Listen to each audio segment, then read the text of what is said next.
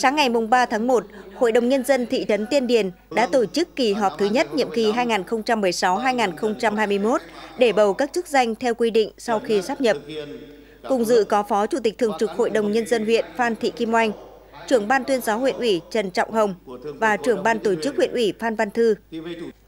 Tại kỳ họp, các đại biểu Hội đồng Nhân dân huyện đã bỏ phiếu bầu các chức danh Chủ tịch, Phó Chủ tịch, các ban Hội đồng Nhân dân, Chủ tịch, các Phó Chủ tịch và Ủy viên Ủy ban Nhân dân thị trấn Tiên Điền.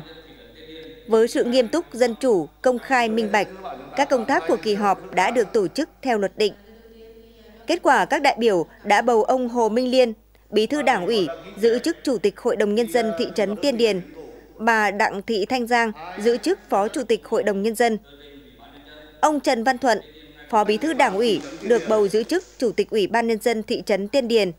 Ông Nguyễn Anh Hải và ông Trần Đức Bình giữ chức Phó Chủ tịch Ủy ban Nhân dân thị. Các đại biểu cũng đã bầu các ban hội đồng nhân dân và các ủy viên Ủy ban Nhân dân thị.